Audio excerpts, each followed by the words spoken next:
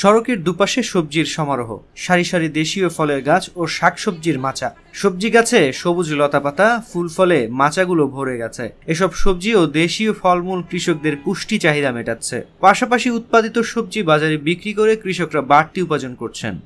এদের ড্রেনের উপর দিয়ে পেঁপে গাছ বেগুন গাছ লাউ গাছ সিম গাছ যাবতীয় কৃষি পণ্য আবাদের সাথে আমি যুক্ত। আমি মাটির আবাদ করি। এবং আইল ফসল সম্পর্কে এই জমিতে আবাদ করি আমরা অনেক লাভবান। আমরা এখানে আলের পরে বেগুন, মরিচ, সিম, কদু এগুলি আবাদ করি, তাতে এক ইঞ্চি জায়গাও পতিত পড়ে থাকে না। আর এই আবাদগুলো আইল ফসল হিসাবে ব্যবহার করে আমরা খুব লাভবান। উপজেলা কৃষি অফিস সূত্রে জানা যায় জমি অনাবাদি না রেখে চাষাবাদের আওতায় আনতে কৃষকদের উদ্বুদ্ধকরণের জন্য কৃষি বিভাগ কাজ করে যাচ্ছেন রাস্তার দুপাশে বসতবাড়ির আশপাশে ও ক্ষেতের আইলে সবজি ও দেশীয় ফলের আবাদের জন্য কৃষি কর্মকর্তারা পরামর্শ দিয়ে যাচ্ছেন। আমরা আমাদের কৃষি অফিসের পক্ষ থেকে তাদেরকে চারা এবং বীজ দিয়ে সর্বাত্মক চেষ্টা করি সহযোগিতা করার এবং উৎসাহিত করার চেষ্টা করতেছি।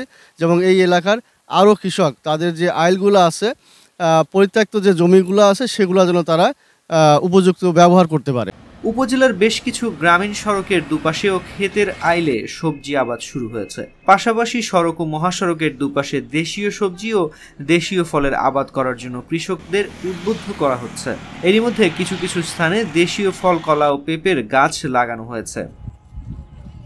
এতে করে হয় যে ওই জায়গাটা আপনার চা বাতের আওতায় আসে। এছাড়াও আপনার ফসলের কিন্তু সকল পোকাই অপ অপকারী নয়। কিছু পোকামাকড় আছে, উপকারী। এই উপকারী পোকামাকড়গুলার আবাসস্থল হয় আমার এই আইলে থাকা ফসলগুলো।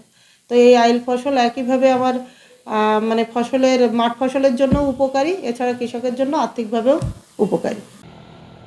পৌর শহরের ইস্তা এলাকায় গিয়ে দেখা যায়, গ্রামের কৃষকরা সড়কের দুপাশে মাচা দিয়ে লাউ ও শিমের আবাদ করেছেন। কলা ও পেঁপের গাছ লাগিয়েছেন। ক্ষেতের আইলে বেগুন ও ঢেঁড়স রোপণ করেছেন।